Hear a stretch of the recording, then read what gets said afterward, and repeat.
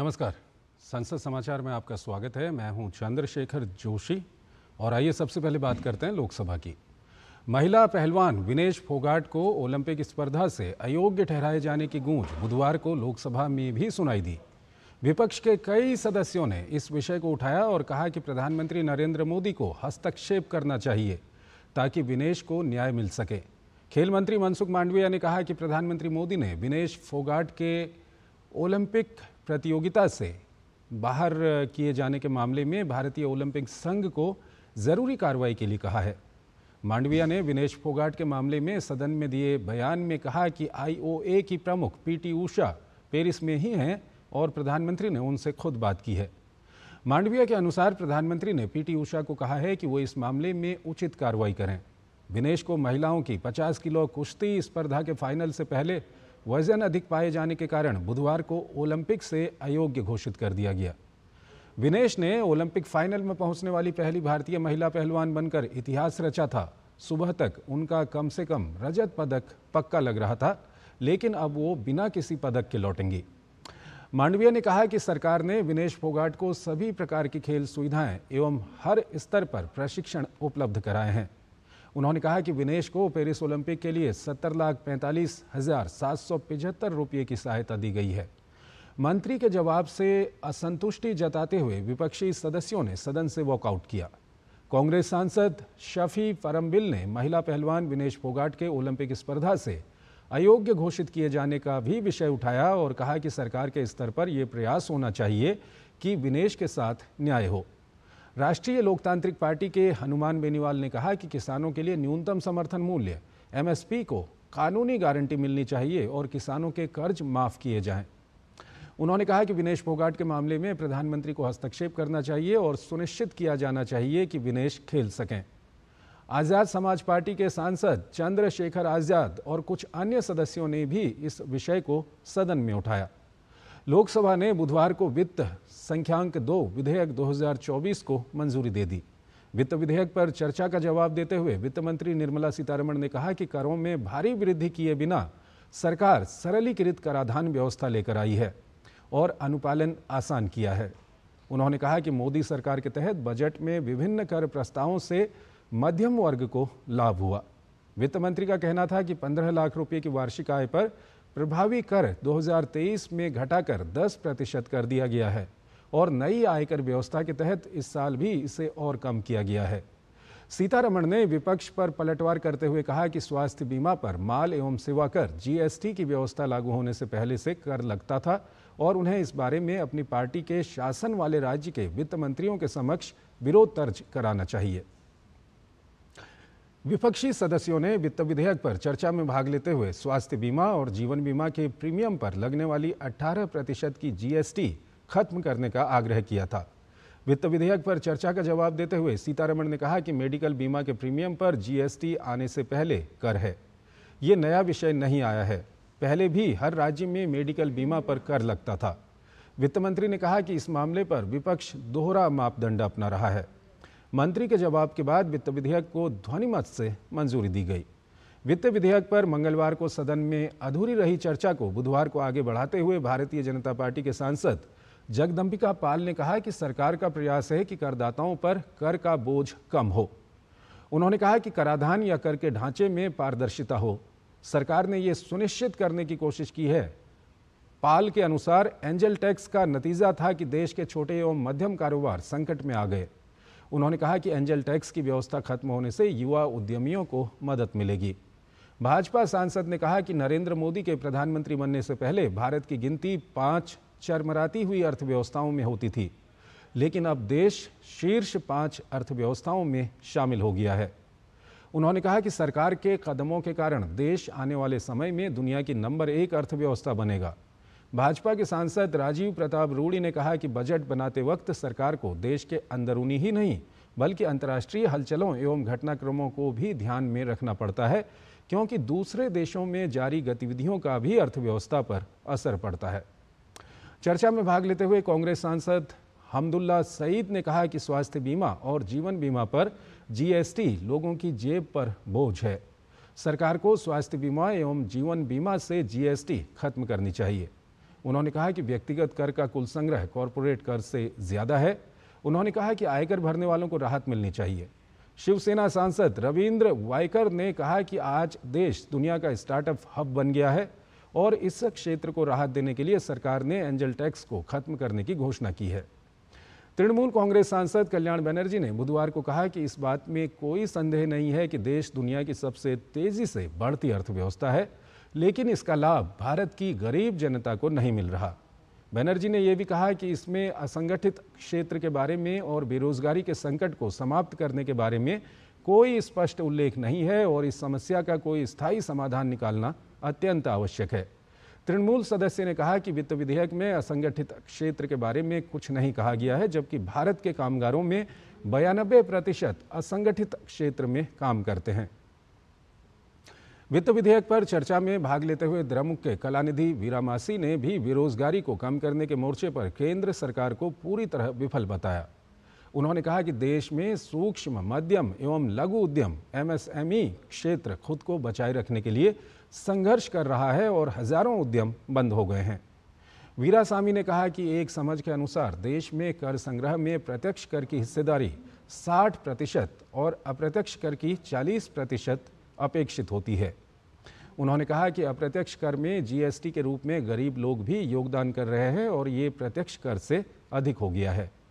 कांग्रेस की आर सुधा ने चर्चा में भाग लेते हुए दावा किया कि केंद्र सरकार समग्र शिक्षा अभियान के तहत तमिलनाडु में स्कूली शिक्षा के लिए देय अपने हिस्से के धन का आवंटन नहीं कर रही। कई अन्य सदस्यों ने भी चर्चा में भाग लिया। और आइए अब आपको लिए चलते हैं राज्यसभा की ओर। राज्यसभा में आज सदन के नेता जगत प्रकाश नड्डा ने कहा कि केंद्र सरकार संविधान और इसकी प्रस्तावना की रक्षा के लिए प्रतिबद्ध है और इनका संरक्षण हर कीमत पर किया जाएगा।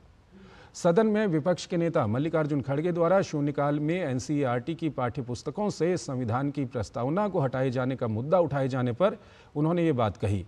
खड़गे ने कहा कि पुस्तकों के पाठ्यक्रम में भी बदलाव किया जा रहा है। उन्होंने सरकार से इस निर्णय को वापस लेने और सदन में इस बारे में स्पष्टीकरण देने की मांग की। नेता सदन नड्डा ने कहा कि कांग्रेस एक जिम्मेदार पार्टी है, लेकिन इस बात से उसकी बुद्धिमता तथा नियत पर बहुत बड़ा प्रश्न चिन्ह लगा है। उन्होंने कहा कि नेता सदन को बिना प्रमाणित स्रोत के इस तरह की बात नहीं रखनी चाहिए। उन्होंने कहा कि संविधान की प्रस्तावना के साथ छेड़छाड़ का सवाल ही नहीं उठता, सरकार इसके प्रति वचनबद्ध है। उन्होंने कहा कि मोदी सरकार ने ही इस देश में संविधान दिवस मनाने का निर्णय लिया है। उन्होंने कहा कि संविधान का अपमान 25 जून 1975 को उस समय हुआ था जब देश में आपातकाल लागू किया गया था। बाद में शिक्षा मंत्री धर्मेंद्र प्रधान ने स्पष्ट किया कि अभी सात कक्षाओं की एनसीईआरटी की पुस्तकें आई है और इनमें से संविधान की प्रस्तावना को हटाया नहीं गया है। उन्होंने कहा कि इन पुस्तकों में प्रस्तावना के साथ साथ मौलिक अधिकारों और मौलिक कर्तव्यों को भी प्रकाशित किया गया है। कांग्रेस के शक्ति सिंह गोहिल ने जर्मनी में बाल देखभाल केंद्र में रह रही भारतीय बालिका अरिहा जैन का मामला उठाया और सरकार से इसमें हस्तक्षेप की मांग की। उन्होंने कहा कि अरिहा जैन नौ माह की थीं, तब से जर्मनी सरकार ने उसे बलपूर्वक बाल देखभाल केंद्र में रखा हुआ है। उन्होंने कहा कि तीन वर्ष हो गए हैं, ये बालिका जर्मनी के बाल देखभाल केंद्र में अभी भी है। संयुक्त राष्ट्र के एक समझौते के अनुसार प्रत्येक व्यक्ति को अपने धर्म, परंपरा और संस्कृति का पालन करने का अधिकार है। लेकिन इस बालिका को जैन संस्कृति से दूर किया जा रहा है। बालिका को मांसाहार कराया जा रहा है। उन्होंने कहा कि केंद्र सरकार को अपनी ओर से हस्तक्षेप करते हुए इस बालिका को भारत लाना चाहिए। उन्होंने कहा कि उसे जर्मनी में भी किसी गुजराती परिवार के संरक्षण में रखा जा सकता है। सड़क परिवहन एवं राजमार्ग मंत्री नितिन गडकरी ने प्रश्नकाल के दौरान सदन को बताया कि राष्ट्रीय राजधानी दिल्ली और आसपास के क्षेत्रों में प्रदूषण का कारण बनने वाली पराली से जैव, बिटुमिन, बायो सीएनजी, बायोगैस और हवाई ईंधन बनाया जा रहा है।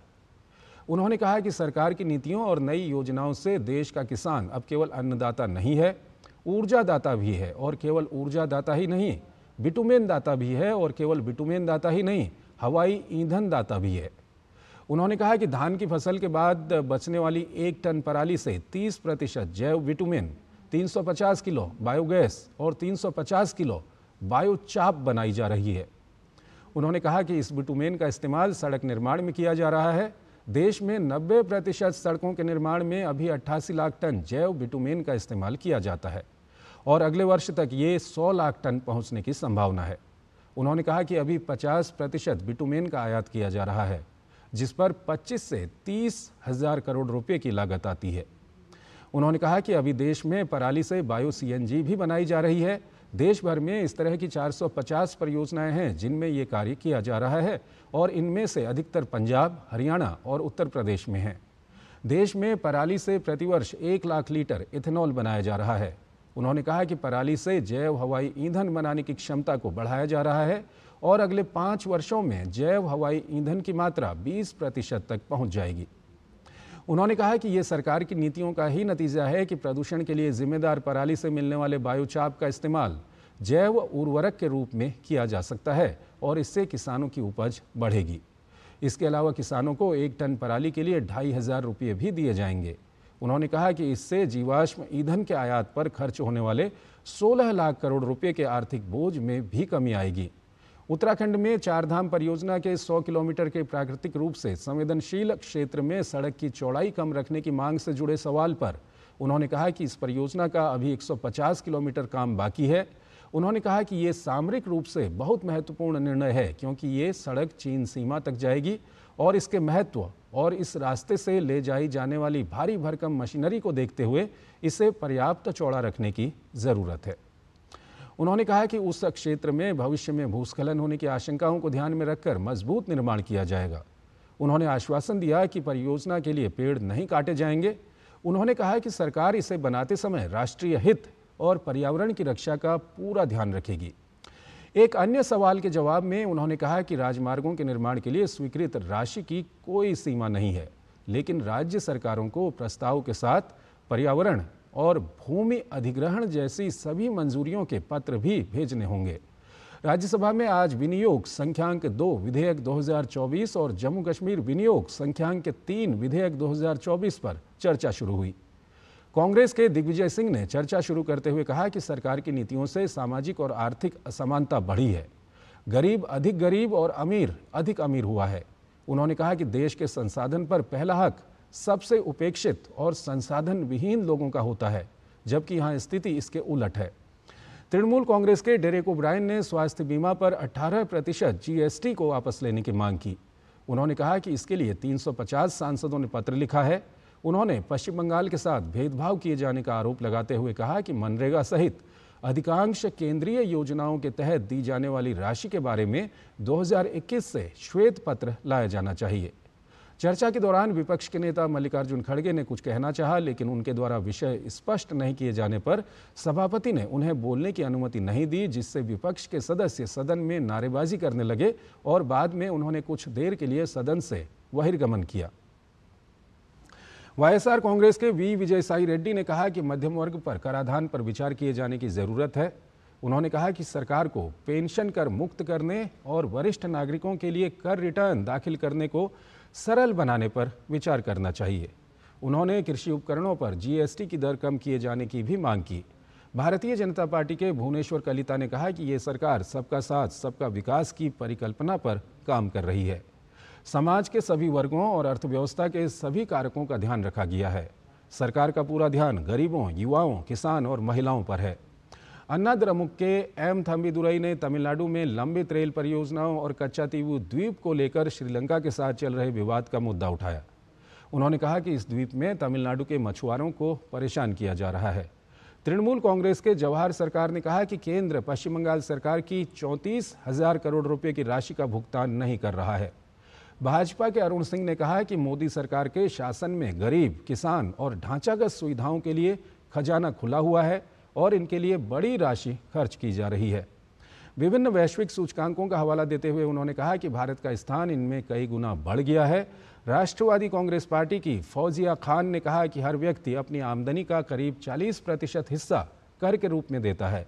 उन्होंने कहा कि इतना कर लेने के बावजूद सरकार की ओर से दी जा रही स्वास्थ्य और शिक्षा क्षेत्र की सुविधाएँ बदहाल हैं। आरक्षण का ज़िक्र करते हुए उन्होंने कहा कि सभी वर्ग आरक्षण मांग रहे हैं।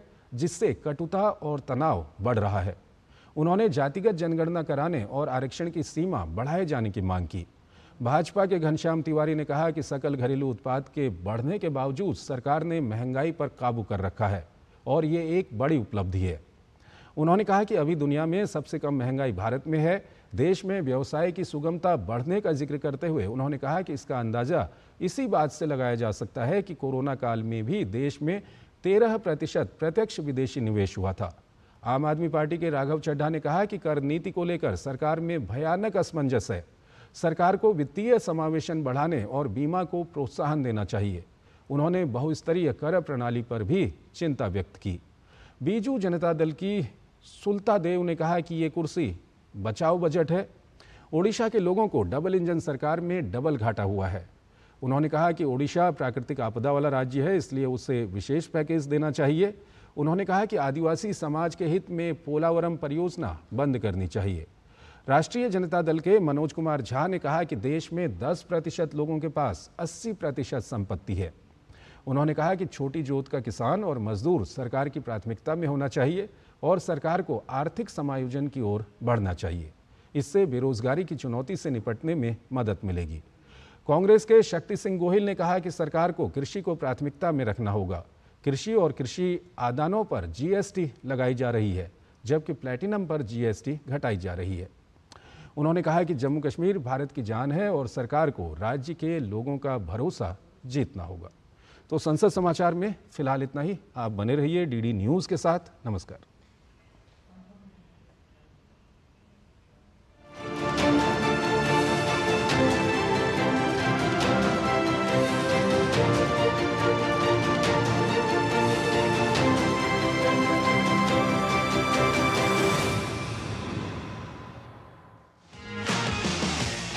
दो सौ छह देश दस हज़ार से ज़्यादा एथलीट बत्तीस खेल सोलह दिन लक्ष्य एक गोल्ड मेडल।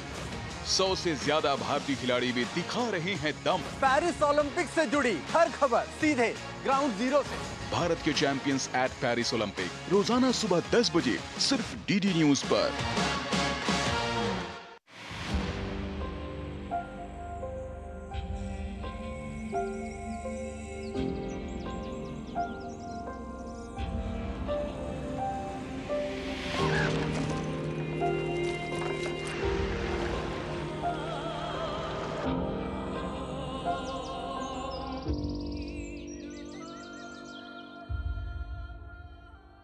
धरती करे पुकार।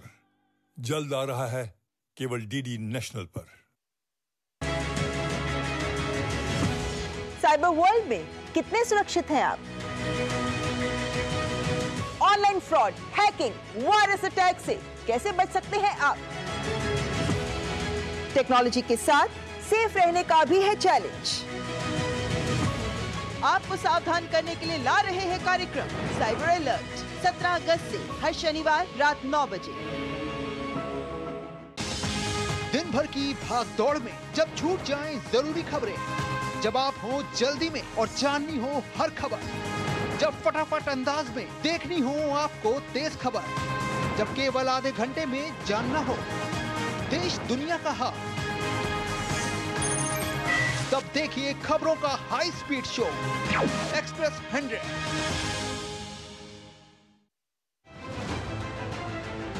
आर्थिक जगत की सुर्खियाँ। आम आदमी के लिए क्या है मायने? शेयर बाज़ार और दूसरे फाइनेंशियल मार्केट्स के तमाम अपडेट्स कारोबार जगत की बड़ी खबरों का सटीक और सरल विश्लेषण। देखिए इकोनॉमी टुडे डीडी न्यूज़ पर।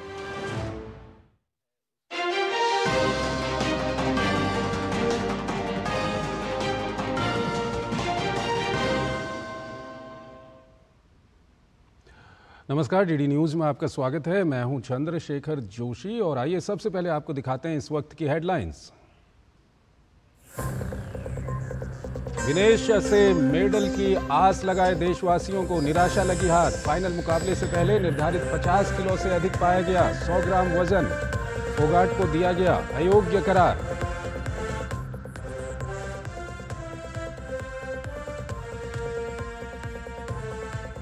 प्रधानमंत्री ने विनेश को बताया, चैंपियनों में चैंपियन कहा, निराश होने की नहीं है ज़रूरत। आईओसी अध्यक्ष पीटी उषा से बात कर हर संभव मदद करने के दिए निर्देश। केंद्रीय खेल मंत्री ने मामले को लेकर संसद में दी जानकारी।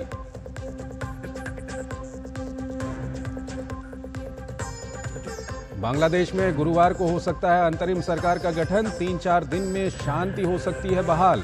अल्पसंख्यक हिंदुओं के खिलाफ हिंसा पर उत्तर प्रदेश के मुख्यमंत्री योगी आदित्यनाथ का बयान। कहा, सनातनियों को एकजुट होने की है ज़रूरत।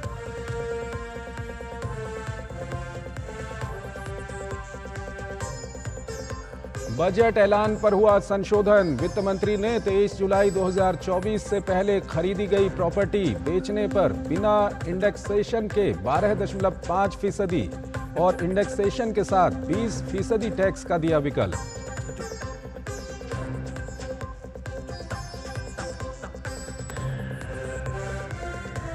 वक्फ बोर्ड संशोधन बिल हो सकता है। गुरुवार को लोकसभा में पेश। कानून 1950 के सेक्शन 40 को हटाए जाने की संभावना, किसी भी संपत्ति को वक्फ घोषित करने का अधिकार हो सीमित। केंद्रीय पोर्टल और डेटाबेस के ज़रिए पंजीकरण के तरीके होंगे सुव्यवस्थित।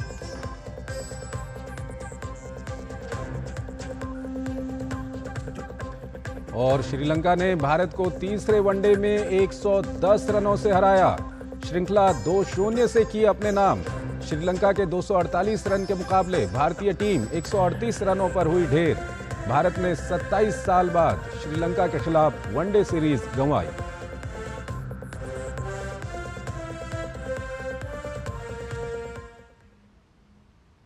और आइए अब खबरों को विस्तार से देखते हैं। पेरिस ओलंपिक में भारत के खेल प्रेमियों को उस समय बड़ा झटका लगा, जब 50 किलोग्राम महिला कुश्ती इवेंट से विनेश फोगाट को अयोग्य घोषित कर दिया गया। फोगाट का मुकाबला संयुक्त राज्य अमेरिका की सारा एन हिल्डे ब्रांड से स्वर्ण पदक के लिए होना था। विनेश फोगाट को ओवरवेट के चलते डिस्क्वालीफाई कर दिया गया।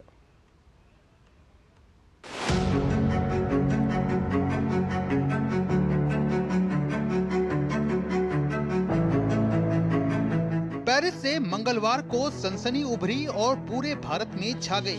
मैट पर विनेश ने जापान की विश्व चैंपियन और टोक्यो ओलंपिक की गोल्ड मेडलिस्ट यूई सुसाकी को जब आखिरी 20 सेकंड में पटकनी दी तो पूरा देश झूम उठा। ये पहला मौका था जब सुजाकी को किसी अंतर्राष्ट्रीय पहलवान ने मात दी थी। इस बड़े उलटफेर के बाद सनसनी फैलना लाजमी था।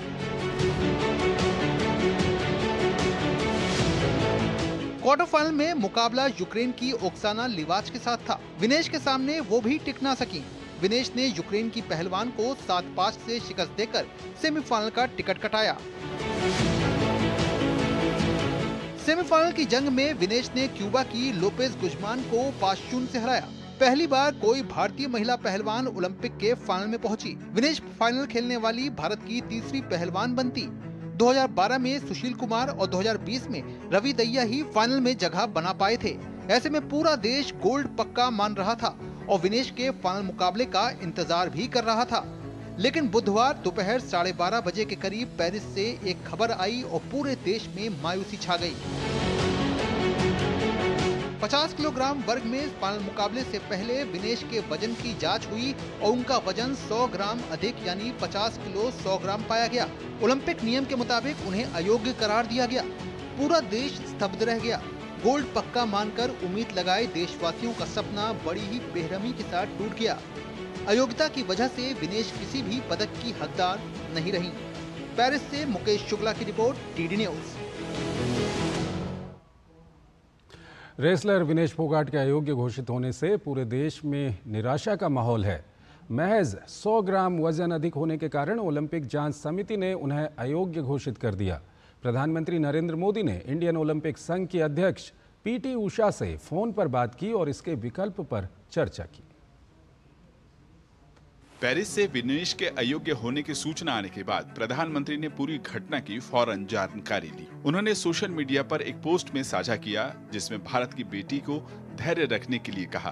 प्रधानमंत्री ने लिखा कि इस दुख के व्यक्त कर पाने के लिए शब्द उनके पास नहीं है। साथ ही उन्होंने लिखा कि विनेश चैंपियन है और देश को उन पर गर्व है।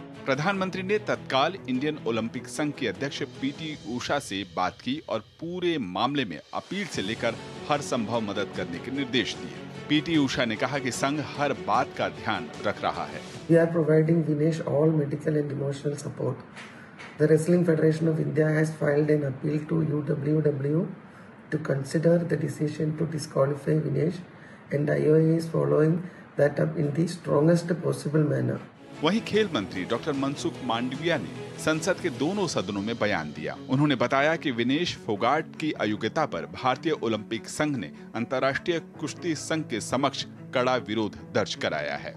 यूडब्ल्यूडब्ल्यू के नियमों और विनियमों के अनुसार सभी प्रतियोगिताओं के लिए, संबंधित श्रेणी के लिए प्रत्येक सुबह वज़न माप का आयोजन किया जाता है।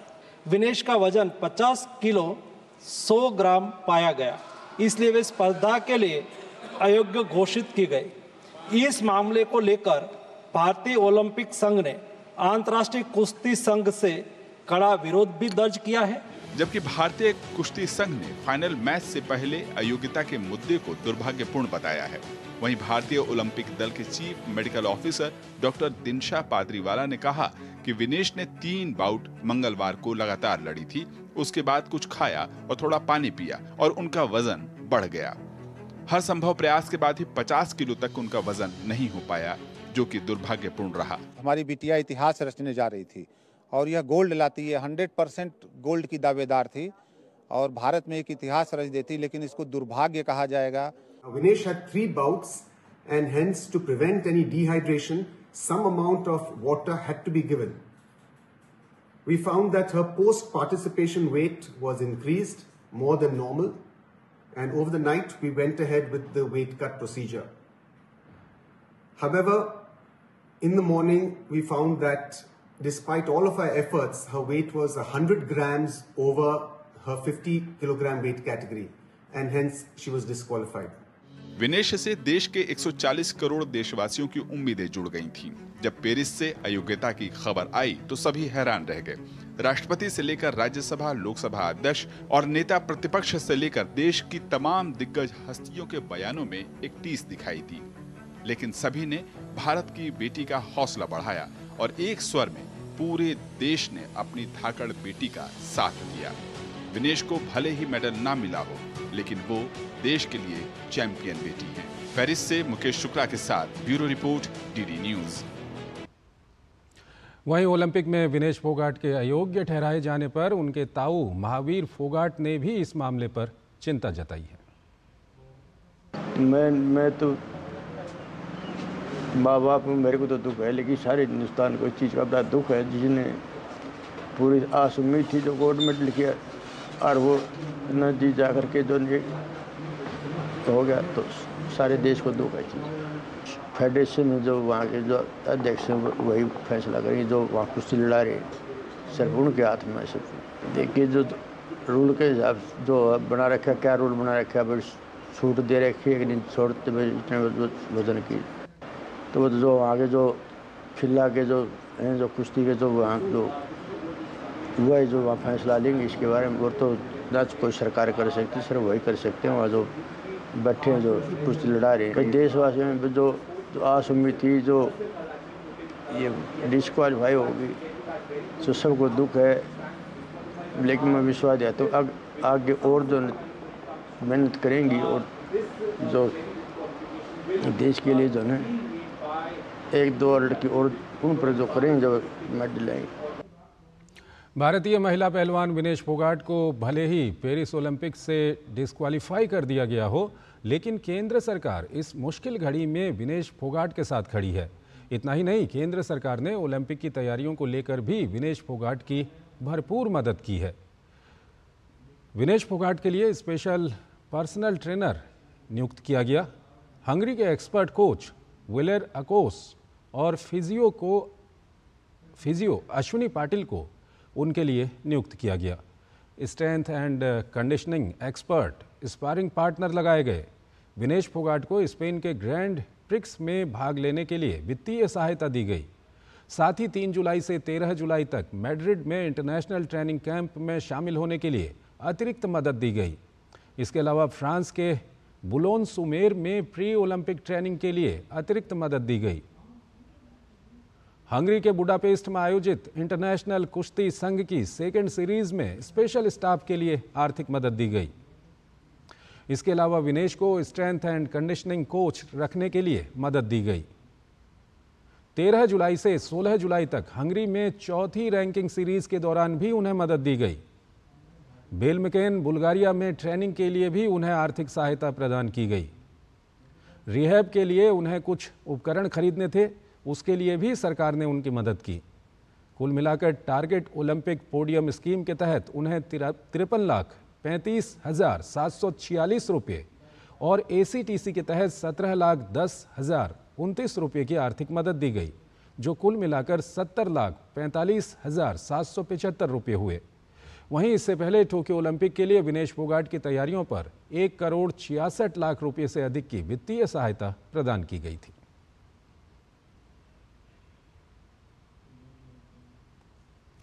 लोकसभा ने आज वित्त विधेयक 2024 को मंजूरी दे दी है। लोकसभा में दो दिनों तक विधेयक पर हुई चर्चा और वित्त मंत्री निर्मला सीतारमण के जवाब के बाद वित्त विधेयक 2024 को ध्वनिमत से स्वीकृति प्रदान की गई। वित्त विधेयक में कराधान और सरकारी खर्च से जुड़े अलग अलग प्रस्ताव शामिल हैं। वित्त मंत्री निर्मला सीतारमण द्वारा पेश किए गए कई आधिकारिक संशोधनों को स्वीकार करने और विपक्ष द्वारा प्रस्तावित संशोधनों को खारिज करने के बाद वित्त विधेयक को लोकसभा में पारित किया गया। वित्त विधेयक के लोकसभा से पास होने के साथ ही सरकार का बजट से जुड़ा संसदीय कार्य पूरा हो गया। इससे पहले लोकसभा ने वित्तीय वर्ष के बजट में विभिन्न मंत्रालयों और विभागों के लिए प्रस्तावित अनुदानों की मांगों एवं उनसे संबंधित विनियोग विधेयक को गिलोटिन के माध्यम से मंजूरी दी थी। लोकसभा में वित्त मंत्री निर्मला सीतारमण ने वित्त विधेयक पर जवाब देते हुए कहा कि घर बेचने पर पुराने कर प्रावधान के विकल्प के लिए जो संशोधन लाया गया है वो समय के हिसाब से लाया गया है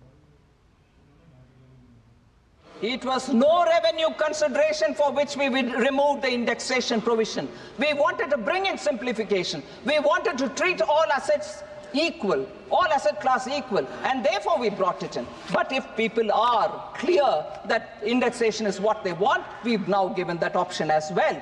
So there is no revenue consideration or greed for more money to earn from people who have invested in their house. It is only to simplify that we brought that in.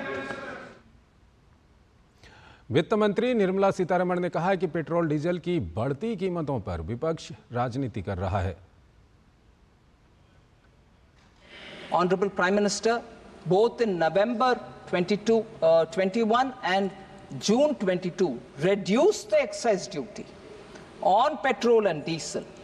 And but I would like to highlight that in November 21 and May 22, 13 rupees per liter was reduced on petrol and 16 rupees per literal, uh, liter was reduced on diesel, both the times put together.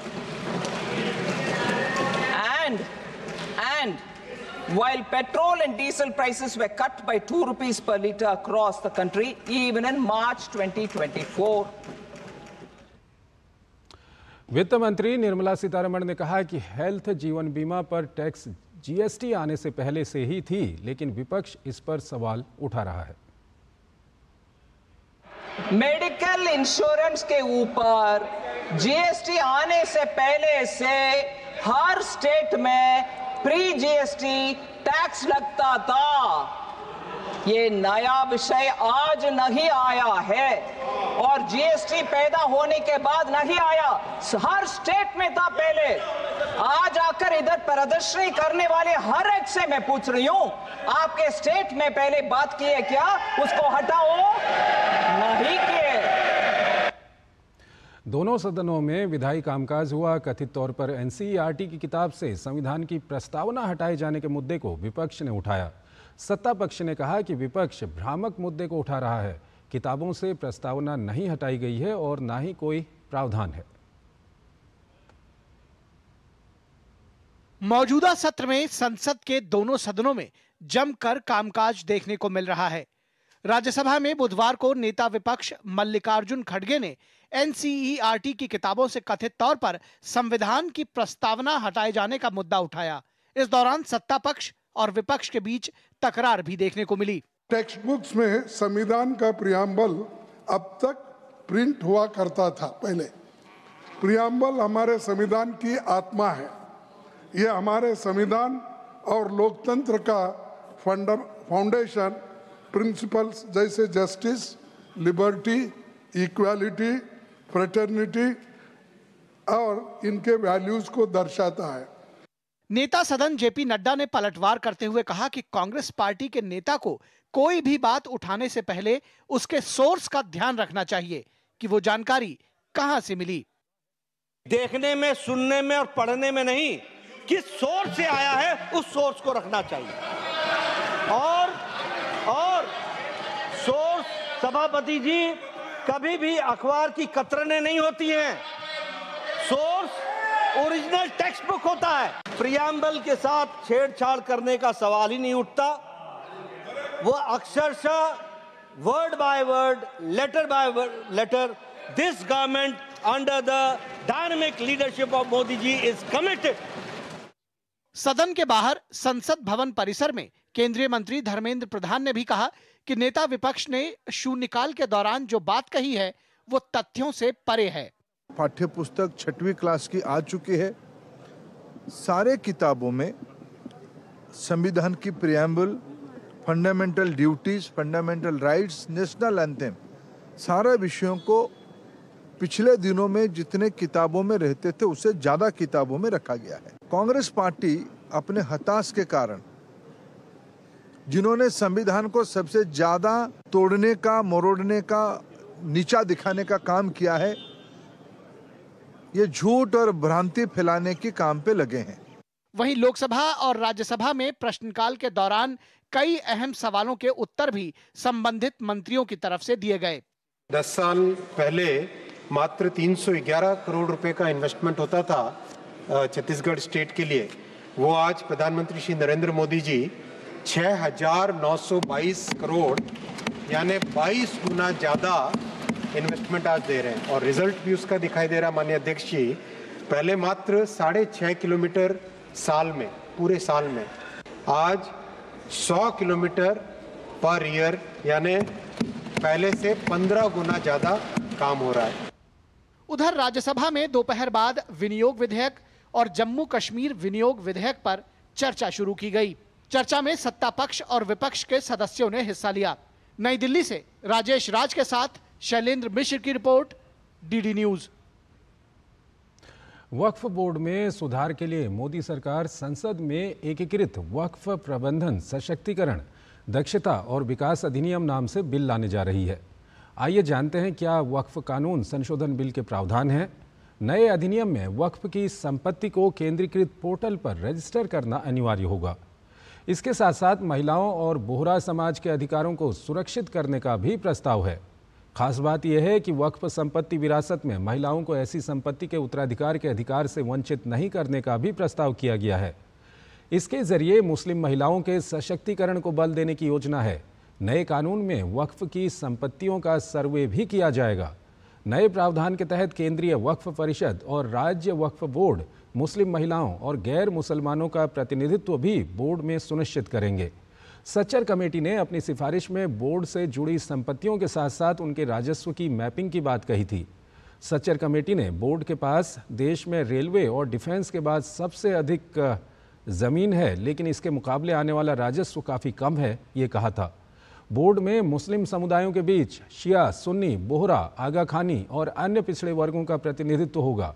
नए विधेयक में प्रावधान है कि board अब ये तय करने का एकमात्र प्राधिकारी नहीं होगा कि कोई संपत्ति वास्तव में वक्फ संपत्ति है या नहीं। विधेयक में वक्फ के गतिविधियों पर बेहतर नियंत्रण के लिए एक केंद्रीय पोर्टल के माध्यम से खातों को दाखिल करने का प्रावधान करने का भी प्रस्ताव है।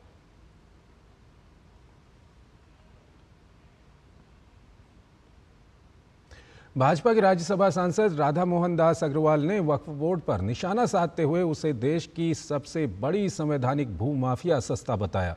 साथ ही उन्होंने वक्फ पर इंक्रोचमेंट का आरोप भी लगाया। इस देश की सबसे बड़ी संवैधानिक भू माफिया कंपनी है। इस देश के अंदर तकरीबन नौ लाख अट्ठावन हज़ार संपत्तियों पर जिसका कुल एरिया तकरीबन नौ लाख एकड़ होगा, उन्होंने इंक्रोच करके रखा हुआ है। असीमित अधिकार उनको दे दिए गए हैं। ढेर सारे नागरिकों की, ढेर सारी सरकारी भवनों की, ढेर सारी स्वायत्त संस्थाओं की ज़मीनें उन्होंने वक्फ बोर्ड की बना करके कब्जा कर लिया। उत्तराखंड मदरसा शिक्षा बोर्ड के अध्यक्ष मुफ्ती शमून कासमी ने कांग्रेस पर देश के साथ साथ मुस्लिमों को भी पीछे ले जाने का आरोप लगाया। उन्होंने कहा कि वक्फ बोर्ड में संशोधन करके कांग्रेस ने वक्फ की संपत्ति की सुरक्षा नहीं की थी, बल्कि अपने चाहने वालों को अनुचित लाभ पहुँचाया था। उन्होंने कहा कि वक्फ बोर्ड में अब होने वाला संशोधन वक्फ के लिए ज़रूरी है। कांग्रेस ने अपने 60 साल के कार्यकाल के अंदर देश को पीछे किया और ख़ास तौर से मुसलमानों को मेन स्ट्रीम से काटा और मेन स्ट्रीम से काटने का कांग्रेस को फ़ायदा ये हुआ कि वो वोट बैंक बने रहे, वक्फ बोर्ड को। बजाय इसके कि उनकी जो प्रॉपर्टी है, जो संपत्ति है, उसका संरक्षण होता, उसे अथा पावर दे करके उन्हें खुश किया और अपने चहेतों को, अपने करीबी लोगों को ये पुरस्कार के तौर से दिया और उन्होंने उसका मिसयूज किया। देश के यशस्वी प्रधानमंत्री श्री नरेंद्र मोदी जी एक ऐसे ऐसे नेता हैं इस देश के कि जो सबका साथ, सबका विकास, सबका विश्वास को आगे बढ़ा रहे हैं। वक्फ बोर्ड में संशोधन के के बाद वक्फ को का जो सही इस्तेमाल है वो होगा और जो तुष्टिकरण की नीति है उस पर अंकुश लगेगा हरियाणा कैडर के आईपीएस अधिकारी और वक्फ बोर्ड हरियाणा में लंबे समय तक काम कर चुके हनीफ कुरैशी ने भी वक्फ बोर्ड में सुधार की ज़रूरत बताई है। मुझे लगता है कि identification of the property use of that property and management of that property इसके लिए जो प्रोसीजरल चेंजेस किए जा रहे हैं, उनकी काफ़ी समय से मुझे लगता है ज़रूरत थी। और ये सब हमारी ज़िम्मेदारी है कि जितने भी हमारे चाहे रेवेन्यू डिपार्टमेंट के लोग हैं, चाहे गवर्नमेंट के, चाहे वक्फ बोर्ड के लोग हैं, वो सब मिल के और इन मामलों को समझें और अच्छी एडमिनिस्ट्रेशन वक्फ की हो, जिससे कि वक्फ बहुत लोगों के भलाई के काम कर सकता है। बहुत एजुकेशन के लिए काम कर सकता है हेल्थ के लिए काम कर सकता है सोशल सेक्टर में काम कर सकता है। तो इन सब चीज़ों पर ध्यान अगर हम देंगे तो एक सोशल मूवमेंट की तरह वक्फ एक्ट के द्वारा जो निकली हुई प्रोविजंस हैं उनसे मुझे लगता है ये सब बहुत एम्पावर होने वाली हैं। उत्तर प्रदेश के बिजनौर के बुरहानुद्दीनपुर गाँव में स्थित एक मदरसे में एक किशोरी के साथ जबरन छेड़छाड़ी का मामला सामने आया है। मदरसे के छात्रावास में कई साल से रह रही चौदह वर्षीय पीड़ित छात्रा ने मदरसे के संचालक मौलवी के बेटे पर छेड़खानी का आरोप लगाया है। पुलिस ने मामले का संज्ञान लेते हुए आरोपी के खिलाफ पॉक्सो एक्ट सहित संगीन धाराओं में केस दर्ज कर लिया है। हालाँकि मामला सामने आने के बाद से मदरसे का संचालक और उसका आरोपी बेटा फरार चल रहा है। घटना के बाद पीड़ित छात्रा के अलावा मदरसे में रह रही अन्य छात्राओं के परिजन भी उन्हें वापस घर ले जा रहे हैं। थाना क्षेत्र कोतवाली के ग्राम बुरहानुद्दीनपुर में एक मदरसा संचालित है। इस मदरसे में अध्ययन करने वाली एक बालिका द्वारा थाने पर उपस्थित आकर तहरीर दी गई है कि मदरसे के ही एक युवक उस्मान द्वारा उसके साथ छेड़छाड़ की गई है। इस संबंध में अभियोग पंजीकृत किया गया है और वैधानिक कार्रवाई की जा रही है। नागर विमानन सुरक्षा ब्यूरो 5 से 11 अगस्त तक विमानन सुरक्षा संस्कृति सप्ताह मना रहा है। केंद्रीय गृह मंत्री अमित शाह ने नागर विमानन सुरक्षा ब्यूरो को इसके लिए शुभकामनाएँ दी हैं। गृह मंत्री अमित शाह ने एक्स पर एक पोस्ट में लिखा है कि ये उत्सव एक बेहतर और सुरक्षित समाज के निर्माण के लिए भारत की प्रतिबद्धता का प्रमाण है। उन्होंने लिखा कि वो हवाई अड्डों और हवाई क्षेत्र की सुरक्षा में अनुकरणीय कार्य के लिए ब्यूरो की सराहना करते हैं। साथ ही उन्होंने लिखा कि ये सप्ताह विमानन सुरक्षा में निरंतर सतर्कता और उत्कृष्टता को प्रेरित करे। केंद्रीय कोयला और खान मंत्रालय ने साल 2022-2023 में उच्च खनन मानकों के तहत प्रदर्शन करने वाली खनन कंपनियों को फाइव स्टार रेटिंग से सम्मानित किया। राजधानी दिल्ली में एक विशेष समारोह में केंद्रीय कोयला और खान मंत्री जी किशन रेड्डी और कोयला और खान राज्य मंत्री सतीश चंद्र दुबे ने सामाजिक, आर्थिक और पर्यावरणीय कल्याण पर प्रतिकूल प्रभाव डाले बिना बेहतर खनन कार्य करने वाली अड़सठ कंपनियों को प्रशस्ति पत्र और स्मृति चिन्ह प्रदान किया। खान मंत्रालय के अधीनस्थ कार्यालय, भारतीय खान ब्यूरो, आईबीएम के माध्यम से खनिज संरक्षण और विकास नियम 2017 के नियम 35 के प्रावधानों के अनुसार स्टार रेटिंग लागू की जाती है।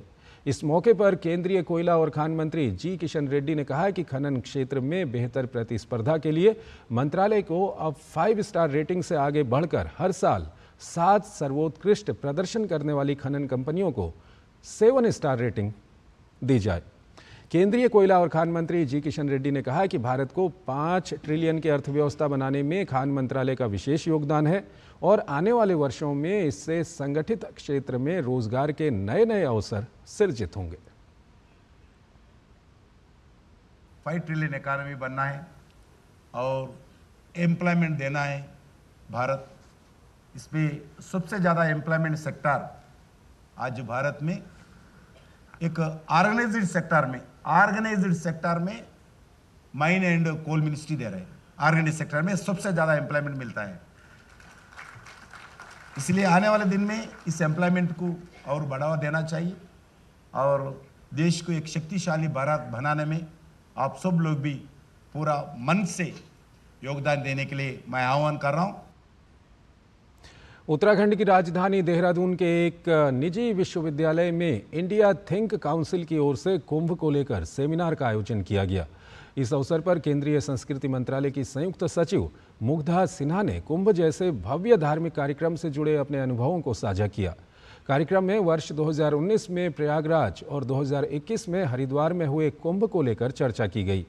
इंडिया थिंक काउंसिल के डायरेक्टर व संस्थापक सौरभ पांडे ने बताया कि 2025 में होने वाले महाकुंभ से पहले उत्तर प्रदेश सरकार और केंद्रीय पर्यटन एवं संस्कृति मंत्रालय की ओर से 25 राज्यों में सेमिनार आयोजित की जा रही है। सेमिनार में लोगों को आमंत्रित करने के साथ ही कुंभ को लेकर लोगों में चली आ रही भ्रांतियों को दूर करना है। 2019 से उत्तर प्रदेश सरकार के साथ इंडिया थिंक काउंसिल ने कुंभ कॉन्क्लेव की एक अवधारणा रखी। 2021 में हरिद्वार में हुआ। 2025 में महाकुंभ के पहले फिर से कुंभ कॉन्क्लेव हो रहा है। उत्तर प्रदेश सरकार और पर्यटन केंद्रीय मंत्रालय, पर्यटन और कल्चर संस्कृति मंत्रालय के साथ में। उसके पहले उत्तर प्रदेश सरकार 25 राज्यों में अलग अलग राउंड टेबल्स कर रहा है, जिन्हें पूर्ववर्ती गोलमेज सम्मेलन हम बोल रहे हैं। उनमें से आज ये तीसरा था। इसके बाद अन्यत्र जगह भी होने हैं। तो ये पूरी संकल्पना है कि कुंभ के बारे में उसके जो भ्रांतियाँ हैं वो सब दूर हों और लोगों को कुंभ में आमंत्रित करने के लिए ऐसे कॉन्क्लेव कराए जा रहे हैं। कार्यक्रम में उत्तर प्रदेश के मुख्यमंत्री योगी आदित्यनाथ के मुख्य सलाहकार अवनीश अवस्थी ने भी अपने विचार रखे। उन्होंने कहा कि सेमिनार में कुंभ को लेकर लोगों में चली आ रही भ्रांतियों को दूर करना है। 2025 में जनवरी में से नया जो है इस बार का कुंभ आयोजित हो रहा है। जिसकी कड़ी में आज यहाँ एक वर्कशॉप आयोजित हुई है जिसमें कुंभ के बारे में जो है एक डिस्कशन भी और लोगों को जानकारी भी दी गई है। इस बार जो कुंभ है उसमें लगभग 5,200 करोड़ रुपए से ज़्यादा डायरेक्टली प्रोजेक्ट्स पर और 2,000 करोड़ यानी साढ़े सात हज़ार करोड़ के आसपास केवल इंफ्रास्ट्रक्चर पे खर्च हो रहा है और कुंभ में इस बार 45 करोड़ से ज़्यादा लोग आएँगे। तमिलनाडु युवा कांग्रेस नेता एन अश्वथामन को बुधवार को सेम्बियम पुलिस ने गिरफ़्तार कर लिया है। अश्वथामन को बसपा प्रदेश अध्यक्ष के आर्मस्ट्रॉन्ग की हत्या के आरोप में गिरफ़्तार किया गया है। आर्मस्ट्रॉन्ग की हत्या बीते पाँच जुलाई को हुई थी। अश्वथामन तमिलनाडु के बाहुबली नेता नगेंद्रन के बेटे हैं, जो फ़िलहाल अभी वेल्लोर जेल में बंद हैं। झारखंड हाईकोर्ट ने रांची में खुली जगहों में गोवंश मांस की बिक्री पर रोक लगाने के लिए सख्त कार्रवाई करने का आदेश दिया है। कोर्ट ने एसएसपी से पूछा कि झारखंड गोजातीय पशुवध निषेध अधिनियम 2005 के तहत रांची में क्या कार्रवाई की गई है? रांची सहित राज्य में कई स्थानों पर मीट शॉप के बाहर कटे हुए बकरे और मुर्गियों को खुले में प्रदर्शित किए जाने के खिलाफ जनहित याचिका दायर की गई थी। इस पर कोर्ट ने मौखिक तौर पर कहा कि अगर शहर में खुली जगहों पर यह कारोबार हो रहा है तो अत्यंत दुर्भाग्यजनक है। कोर्ट ने यह भी कहा कि आदेश के बाद भी चिकन एवं मीट दुकान संचालक काले शीशे का प्रयोग नहीं कर रहे हैं। कई मीट दुकानें बिना लाइसेंस के चल रही हैं, उन पर एक्शन लिया जाए।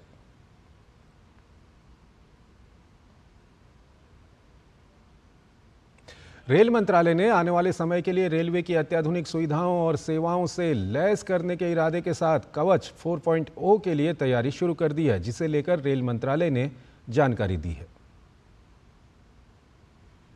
कवच 4.0 को लेकर 17 जुलाई को आरडीएसओ ने इसे स्वीकृत कर दिया है।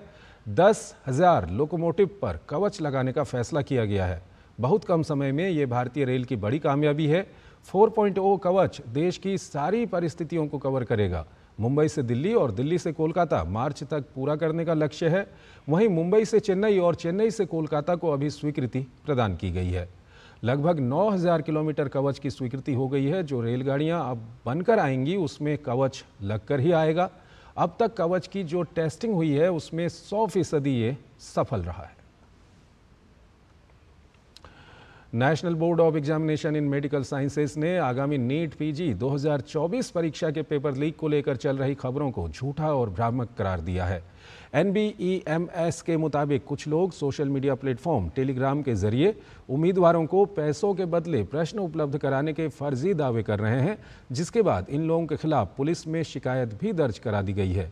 साथ ही National Board of Examination in Medical Sciences ने बताया कि नीट पीजी 2024 के प्रश्न पत्र अभी तैयार नहीं किए गए हैं।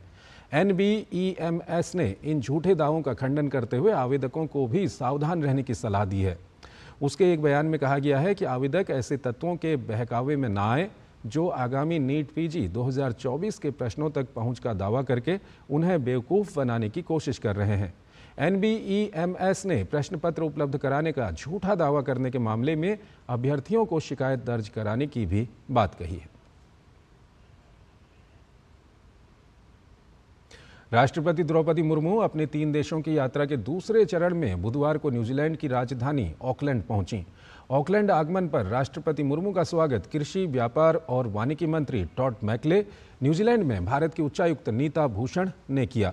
राष्ट्रपति द्रौपदी मुर्मू कल वेलिंगटन की यात्रा करेंगी, जहाँ वो न्यूजीलैंड के governor general Dame Cindy Kiro, प्रधानमंत्री क्रिस्टोफर लक्सन और उप प्रधानमंत्री विंस्टन पीटर्स से मुलाकात करेंगी।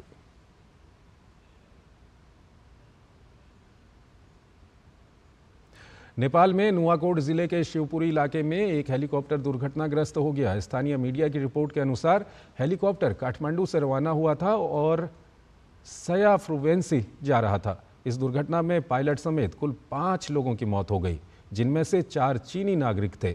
अभी तक दुर्घटना के कारणों का पता नहीं चल सका है। कुछ हफ़्ते पहले ही नेपाल में हुए एक अन्य विमान दुर्घटना में 18 लोगों की मौत हो गई थी। बांग्लादेश में गुरुवार को अंतरिम सरकार का गठन होने की पूरी उम्मीद है। इस बीच भारत के कई नेताओं और संस्थाओं ने हिंदू अल्पसंख्यकों पर हो रहे अत्याचार, हिंसा की भर्सना की है। वहीं भारतीय विमानन कंपनियों ने ढाका की हवाई सेवाएँ बहाल कर दी हैं।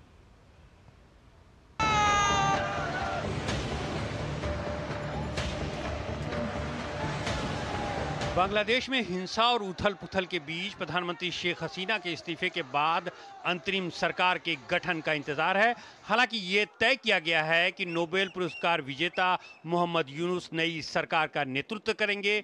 यूनुस पेरिस से ढाका के लिए रवाना हो गए हैं।